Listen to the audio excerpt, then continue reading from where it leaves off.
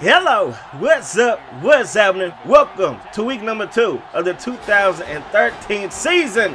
And Adrian Smith, he is back in the starting lineup as our quarterback. I know that this school has a history of changing quarterbacks halfway through the season, but this time we can do it early. I feel like even though grounding and pounding is the way to go, and that's going to get us to another national championship game, we have to be more consistent through there, and I feel like Smith gives us that.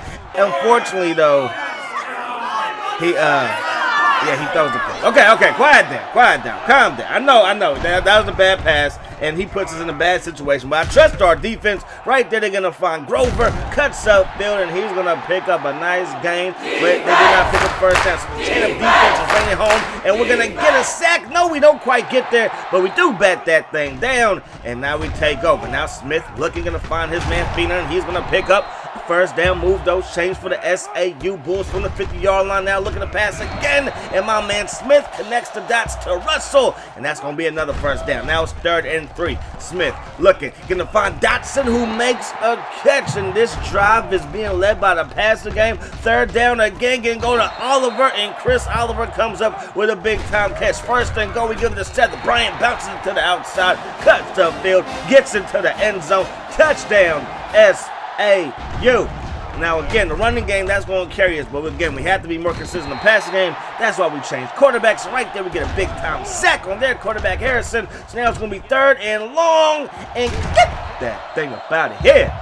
So we stop him on third down. We get the ball right back, trying to go up two possessions. But Fina forgot his hands on the bus. And that pass is going to fall incomplete. So it's second and 10. Harrison getting sacked by A.J. Hunt, his second sack of the ball game. But then Bird, he gets to the outside, breaks a tackle, cuts upfield, finally gets brought there about the 40 41 yard line. Now it's third and seven from the 44. They're going to do the wide receiver screen, but he forgot his hands in the hotel room, so that's not going to work. Third and 17 for us. Going to take a shot deep downfield to Russell, who brings it in. Big time catch.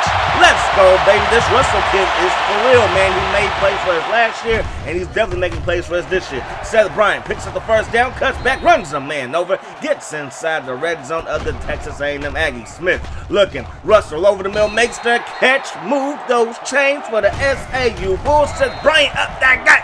Touchdown. S-A-U.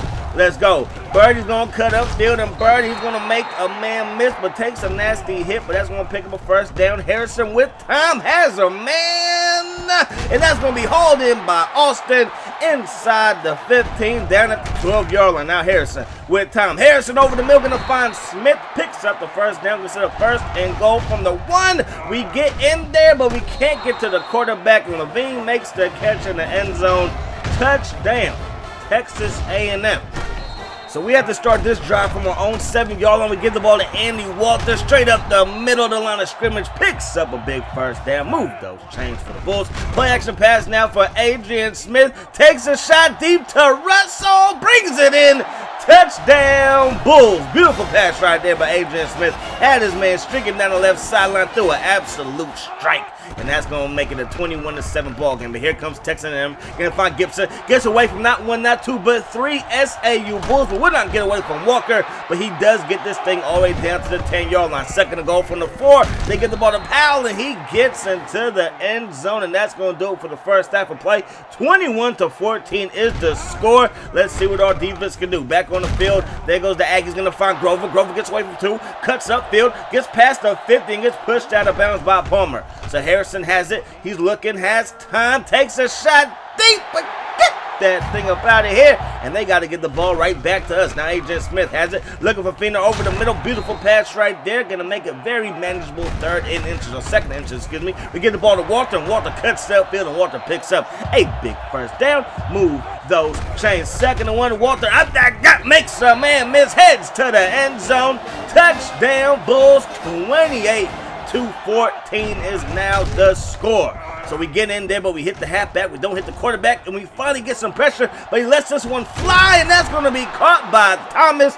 Beautiful catch by that big receiver going up above the sky to bring that one in. Now he's going to go over the middle of Thomas again, who makes another catch. Now they give it to Bird and A.J. Hunt is there for the take than over 100 tackles in his career so far. He gives the ball to Bird again, cuts outfield, but gets brought down by Williams and they would have to settle for a field goal. So it's 28 to 17. We're going up to Ho. We're going up to Fina this time, and he's going to make the catch. He's in that 88 club, representing for all the 88s around the world. And now we're going to go to Fina again. Catches this one, but short of the first down marker. So we're going to settle for the field goal. Kick is up and the kick is good.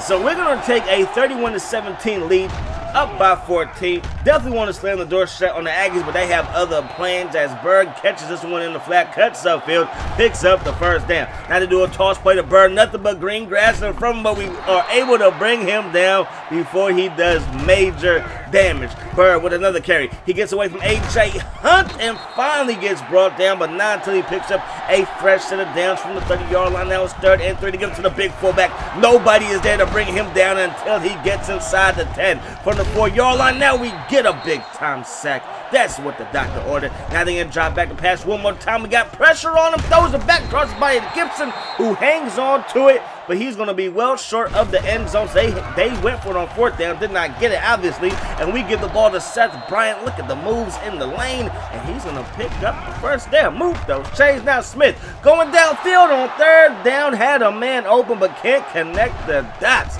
But Smith is 14 of 18, one of the best passing days that we have seen in the history of SAU. AJ Hunt gets in there for sack number three on the day. It's fourth down. They're going to find Powell out of the backfield, and he's actually going to pick up the first down. They only got 54 seconds to go, but they decide to run the football, and Bird is making that decision wise, but then he does not go out of bounds. I do not understand that. They're down to six seconds, and again, they run the football headed to the end zone, picks up the first down, but he will not get any further, and that's going to bring this one to an end. Kind of a wacky finish right there as Texas A&M did not elect to pass the football, but you know what? They probably would have lost anyway. Anyways, man, look at Adrian Smith's numbers, 14 of 18. That's the big thing. Did have that early interception, but after that, he was basically perfect on the day. Andy Walker, a buck 15 on the day. My man Smith chipped in with 50 yards plus two TDs, so that's big for him. And then, of course, when we check out the receivers, Russell had a big day, 149 yards. Fina had a big day as well with 79. And then Dustin, he